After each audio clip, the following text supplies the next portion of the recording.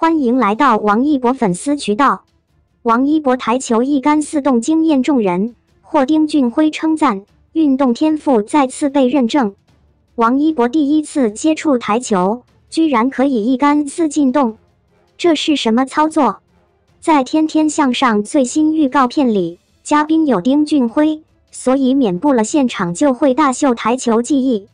汪涵突然 Q 到了王一博，问他会不会玩台球。王一博摇了摇头说不会。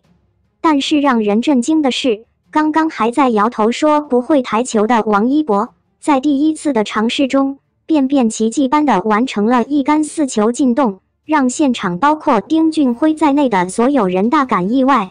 这难道就是传说中的运动天才？因为实在是没有预料到。所以在四球进洞的一瞬间，汪涵、钱锋、大张伟等人便兴奋激动地跳了起来。丁俊晖也是不由自主地鼓掌赞叹。反而王一博保持着淡定。在《天天向上》当了这么多年的主持人，虽然王一博的主持能力并没有特别的表现，常常会安静乖巧地站在哥哥们的身后。但是由于这档综艺每次都会邀请很多有各种才能的人上台展现。所以王一博会随时被哥哥们要求跟随嘉宾完成各种不同的挑战，他从未拒绝或者排斥，每次都会安静接受，但是结果总会是超出预期。王一博的运动能力尤其亮眼，轮滑、标枪、滑雪、滑板、舞剑、舞蹈、架子鼓、冲浪等等运动都能玩转。他本人舞蹈不用多说，骑摩托车也参加了多个比赛。滑板同样也是他所喜爱的。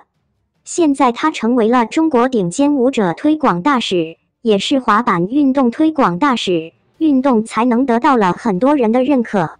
同时，王一博还在《天天向上》的舞台上表演过京剧、架子鼓、唱戏、冰雕、画茶、钻火等等技艺，真的可以说涉猎非常广了。这些技能虽然都有难度。但是王一博能够完成挑战，恰恰说明了他的才能与天赋，真不愧是天天兄弟里的才能担当。看到王一博居然展现过这么多的技艺，网友纷纷表示看傻了，羡慕他学东西真快。